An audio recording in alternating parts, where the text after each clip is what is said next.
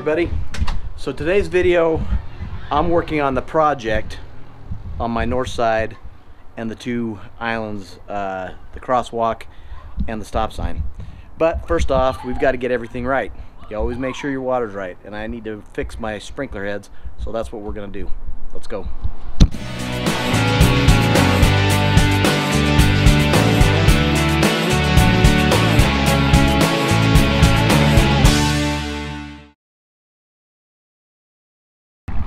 So today we're going to be putting on the Hunter PRS 30s. Now, what's the difference between the two? A PRS 30 is a pressure regulated sprinkler head that will go up to 30 pounds of pressure for the head. We're going to switch all those out for this mow strip because I need to be able to reduce it just a little bit. We're going to get these changed out and then we're, when the system turns on we'll get everything else adjusted to final adjustments.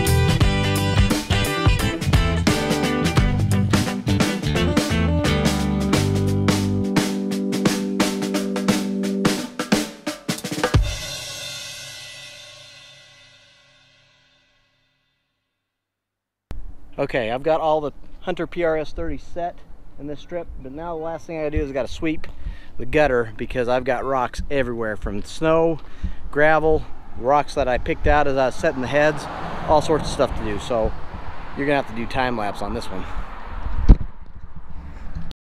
Hey, thanks for watching. Please hit that subscribe button and hit that notification bell for any notifications on any future videos being posted. Also, like, share with your friends, and please comment down below. It really helps. And we'll see you in the next one.